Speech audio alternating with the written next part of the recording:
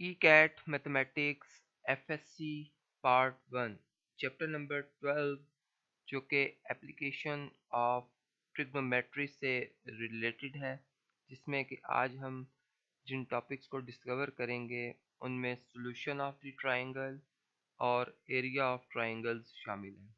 याद रहे कि ट्रायंगल जो कि क्लोज्ड फिगर होती है थ्री साइडेड अब विद रिस्पेक्ट टू साइड्स भी ये इसकी थ्री टाइप्स होती हैं और और इसमें अगर विद रिस्पेक्ट टू एंगल्स देखा जाए तो वो भी इसकी थ्री टाइप्स बनती हैं। हम तमाम ही ट्राइंगल्स कंसिडर करेंगे, जिनके के अननोन एंगल्स और साइड्स को हम मैयर करेंगे।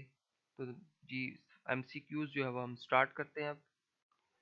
जी, हमारा पहला क्वेश्चन ये है कि in a right angled triangle A B C with right angle at B which one is true यानी अगर एक ऐसी ट्राइंगल हो जिसमें एक एंगल 90 डिग्री हो तो इसे हम राइट एंगल ट्राइंगल कहते हैं।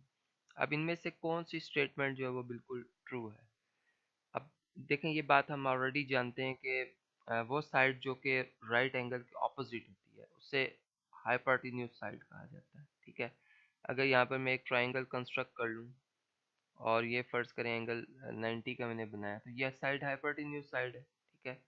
और बाय पैथागोरस थ्योरम हम जानते हैं कि जो हाइपरटिन्यूस साइड का स्क्वायर होता है, वो बाकी दो साइड्स के स्क्वायर के सम के बराबर होता है, ठीक है? तो इसका मतलब यहाँ पर perpendicular square plus base square आएगा।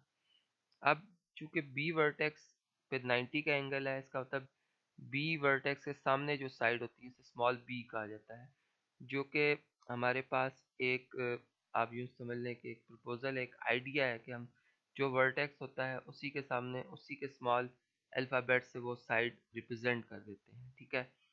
तो यहाँ पे फिर B square is equal to चूँकि अगर ये साइड ये अगर वर्टेक्स सी और ये ए हो तो फिर ये साइड ए बन जाएगी और ये सी तो ये इक्वल टू हो जाएगा फिर A square plus C square के, ठीक है?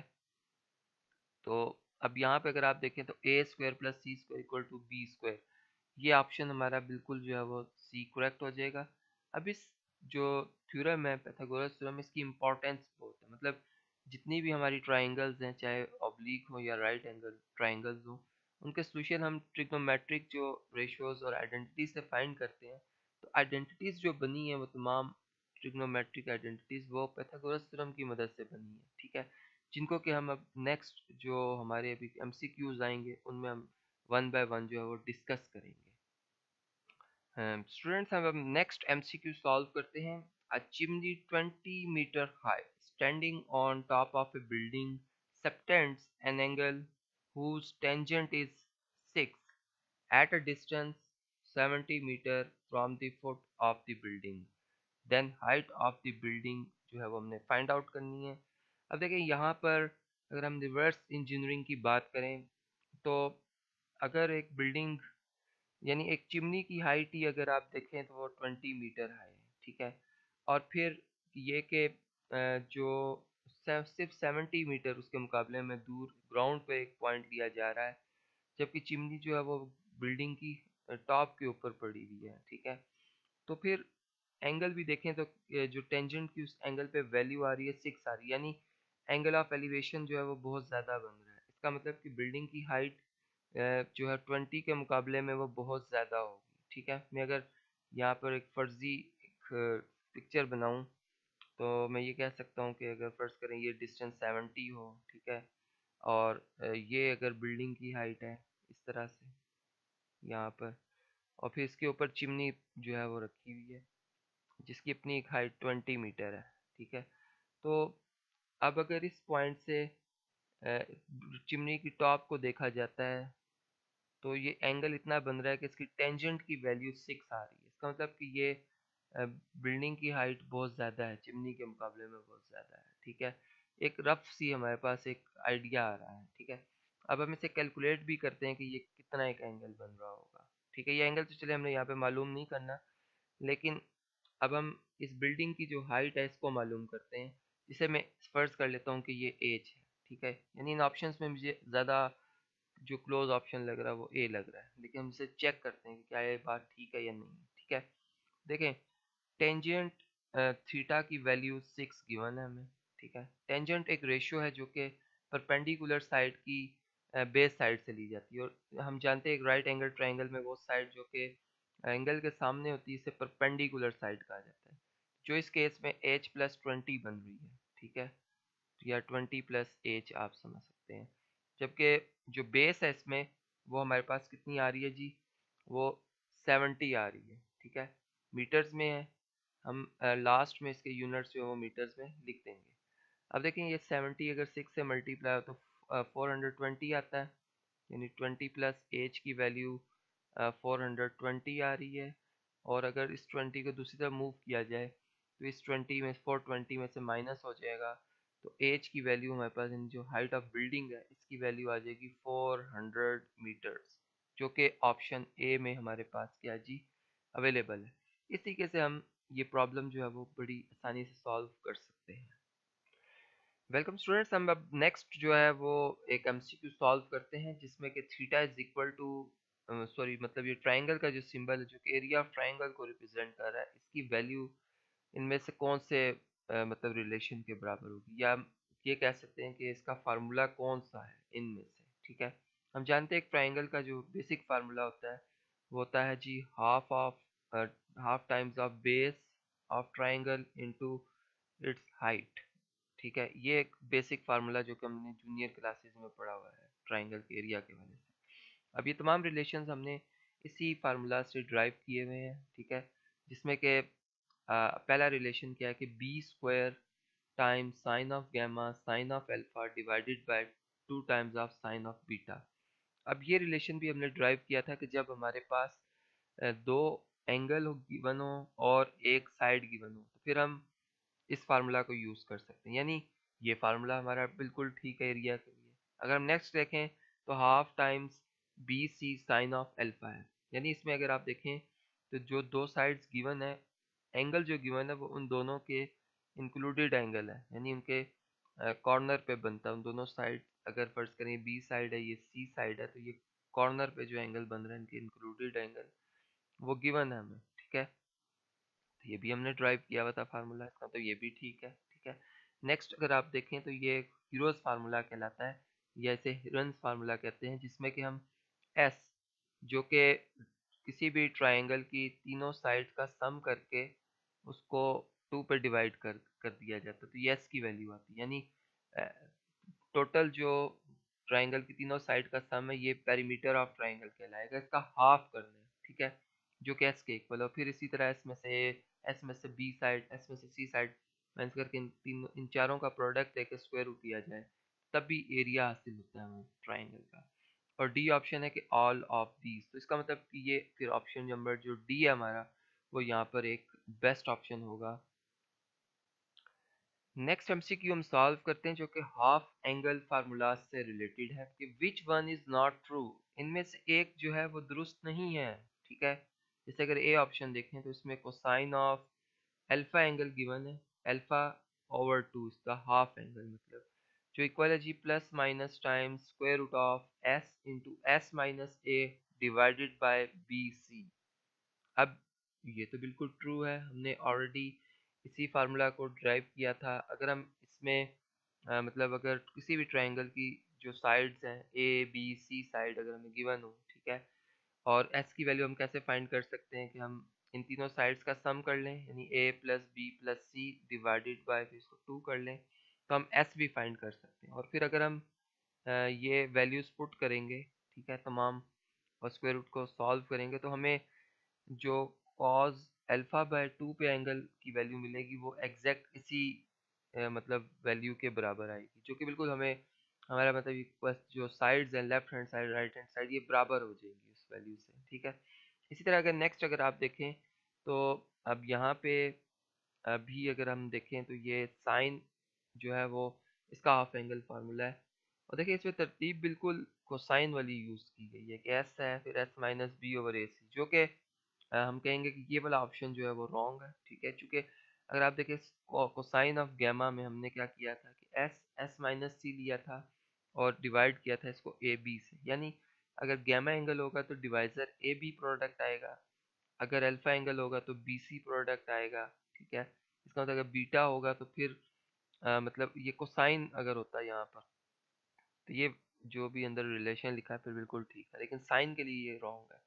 इसे टेंजेंट के लिए ये बिल्कुल ट्रू है कि S minus A into S minus C divided by S into S minus B चूँकि टेंजेंट जो होता है टेंजेंट फ़ंक्शन जो है रेशियो हम इसको लिख सकते हैं साइन ओवर यानी sine trigonometric function over cosine trigonometric function के हिसाब से इसकी रेशियो लिखी जा सकती है।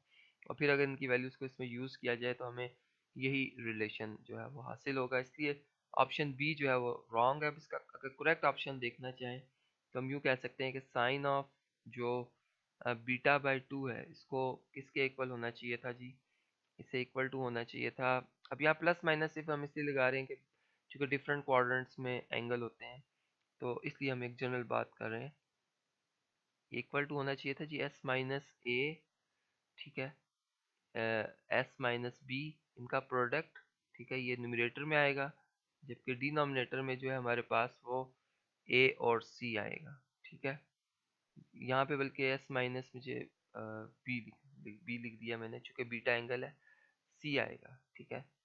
और डिवाइडेड बाय ए सी तो ये बेसिकली जो है इसका वो बिल्कुल ठीक ऑप्शन बनता है, जो कि अगर हम इसको देखते हैं, ठीक है? तो इसी कैसे ये एमसीक्यू हमने यहाँ पर सॉल्व किया। नेक्स्ट एमसीक्यू सॉल्व करते हैं जी, जिसमें के टू टाइम्स ऑफ़ डेल जो कि एरिया ऑफ़ ट्राइंगल को रिप्रेजेंट कर रहा है डिवाइडेड बाय बी सी ये किसके इक्वल होगा? क्या ये कोसाइन अल्फ़ा के इक्वल होगा? क्या ये कोसाइन बीटा के इक्वल होगा? या फिर साइन बीटा या फिर साइन अल्फ़ा के इक्वल होगा? तो चूँकि ये बात हम ऑलरेडी जान चुके हैं कि एरिया ऑफ़ ट्राइंगल हम इसका भी फाइंड कर सकते हैं कि अगर हमें दो साइड्स और इनके इंक्लूडेड एंगल गिवन हो तो हम एरिया फाइंड कर सकते हैं। और उसके लिए जो हमने फार्मूला पढ़ रखा है, वो था हाफ़ टाइम अब चूँकि इधर बी सी की बात हो रही है, इसका तो अगर बी और सी साइड गिवन हो तो फिर इनका इंक्लूडेड एंगल अल्फ़ा एंगल बनता है। तो यहाँ पे साइन ऑफ़ अल्फ़ा आएगा, ठीक है?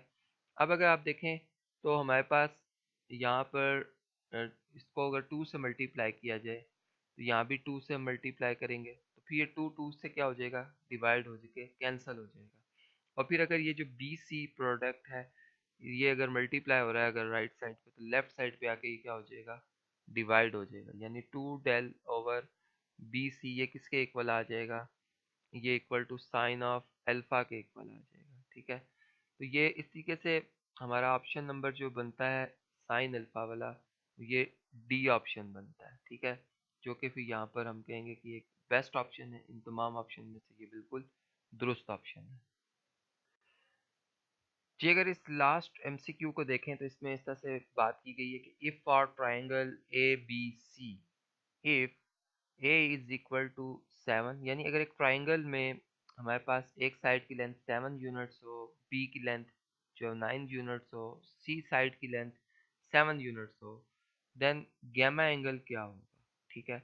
अब देखिए, यहाँ हम जो है वो लॉ ऑफ़ कोसाइंस भी यूज़ कर सकते हैं, चूँकि ऑल साइड्स गिवन है, ठीक है? तो और मतलब चले, अगर हम इसको यूज़ कर लेते हैं लॉ ऑफ़ कोसाइंस को, और इसमें मतलब जो हाफ़ एंगल फार्मूला है, उससे भी यूज़ किया जा सकता है।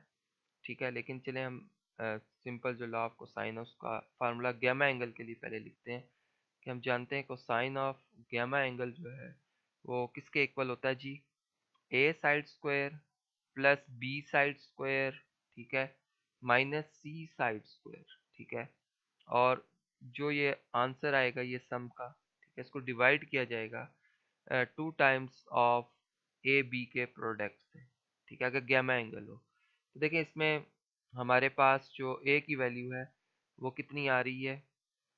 वो सेवन है। सेवन का स्क्वायर और सी भी सेवन सेवन सेवन का स्क्वायर है फोर्टी नाइन फोर्टी नाइन से कैंसिल हो जाएगा, जबकि बी का स्क्वायर एटी वन आएगा, ठीक है? यहाँ मैं सिंपल एटी वन लिख रहा हूँ।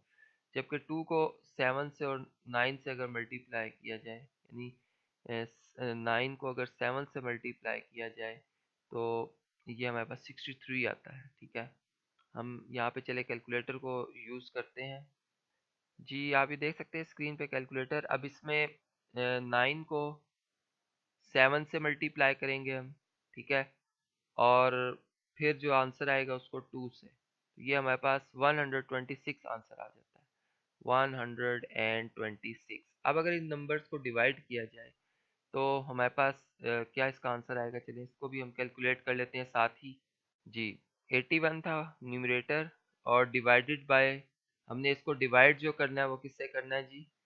इसे हमने डिवाइड 126 से करना है। तो 126 ये डिवाइजर में आएगा। तो हमारा आंसर आ रहा है जी 0.6428 और अगर इस पर इन्वर्स ले लिया जाए कोसाइन फ़ंक्शन का तो हमें गैमा एंगल भी मिल सकता है, जो कि 49.99 है। जिसको अगर मैं राउंड अप करूँ तो ये 50 डिग्री बन जाता है, ठीक है? तो इसलिए यहाँ पर हम कह सकते हैं कि हमारे पास जो गैमा एंगल आया है, वो कॉज इनवर्स ऑफ़ ये जो वैल्यू आई थी 81 ओवर 126 तो इसका आंसर जो है वो 50 डिग्री अप्रॉक्सीमेट आ रहा है अप्रॉक्सीमेट ठीक है? तो यहाँ पर फिर जो ऑप्शन नंबर सी है हमारा, वो बिल्कुल जो है वो बेस्ट ऑप्शन हो जाएगा करेक्ट ऑप्शन हो जाएगा, जो कि बताई हुई कंडीशंस के मुताबिक हम इसको फिर मार्क कर देंगे।